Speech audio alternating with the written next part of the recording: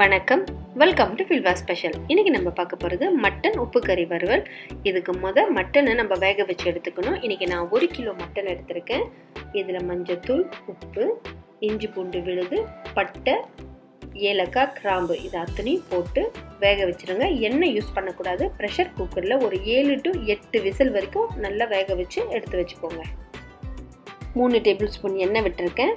சோம்பு பட்டை அன்னாச்சிப்பூ இது நல்லா பொரிஞ்சதுமே பூண்டு பத்து பல்லு பூண்டு எடுத்து அதுவும் ஸ்லைஸ் பண்ணி சேர்த்துக்கோங்க. அதே அளவுக்கு இஞ்சி ஒரு கைப்பிடி அளவுக்கு அதுவும் ஸ்லைஸ் பண்ணி சேர்த்துக்கோங்க.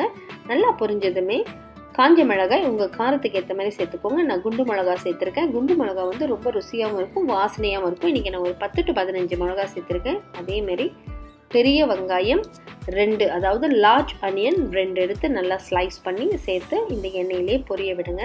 அதுக்கப்புறமா நம்ம வேக வச்சு எடுத்த மட்டனையும் இதோட சேர்த்துக்கலாம். தண்ணி அதிகமாக இருக்குன்னு கவலைப்படாதீங்க. இது அந்த நல்லா அந்த மட்டன் அந்த மிளகாயோட நம்ம சேர்ந்து எல்லாம் கிளறி குக் பண்ணும் போது தான் இந்த உப்பு வறுவல் வந்து நல்லா சூப்பராக நம்மளுக்கு கிடைக்கும். இது அப்படியே கொஞ்ச நேரம் கொதிக்க விடலாம். அப்படியே விட்டுறாம இதை அப்பப்போ கிளறி விட்டுக்கோங்க. இப்போ தேவையான அளவுக்கு மஞ்சத்தூள் சேர்த்து இதோடைய உப்பு சுவைக்கேற்ப உப்பு சேர்த்துக்கோங்க. நம்ம ஏற்கனவே வேக வைக்கும் போது சேர்த்துருக்கோம். அதுக்கு பிறகு நீங்கள் பார்த்து மறுபடியும் சேர்த்துக்கோங்க. மஞ்சத்தூள் கொஞ்சம் ஜாஸ்தியாகவே சேர்த்துக்கோங்க. ஒரு டீஸ்பூன் அளவுக்கு நீங்கள் சேர்த்து நல்லா மிக்ஸ் பண்ணி மறுபடியும் ஒரு அஞ்சு நிமிஷம் நல்லா வேக விடுங்க. தண்ணி நல்லா சுண்டி திரண்டு வரும்போது உங்களுக்கு மட்டன் பார்த்திங்கன்னா நல்லா சூப்பராக சாஃப்டாகவும் இருக்கும். இந்த காஞ்ச மிளகாவோட சேர்ந்து காஞ்ச மிளகாவும் நல்லா சாஃப்டாக குழஞ்சி வெந்து வரணும். அந்த அளவுக்கு இந்த மட்டன் வந்து நல்லா குக் ஆகணும்.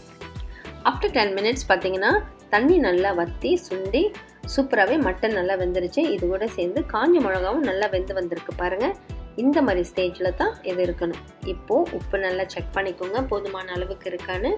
இது கூட இப்போது நம்ம இடித்து வச்ச மிளகுத்தூள் அதாவது கருப்பு மிளகுத்தூள் ஒரு டேபிள் ஸ்பூன் நல்லா நுணுக்கி வச்சுருக்கேன். அது இதோட சேர்த்து ஒரு கைப்பிடி அளவுக்கு கருவேப்பிலையும் சேர்த்து நல்லா மிக்ஸ் பண்ணி விடலாம். கருவேப்பிலையோட வாசனை இந்த உப்பு வறுவலுக்கு நல்லா சூப்பராகவே இருக்கும்.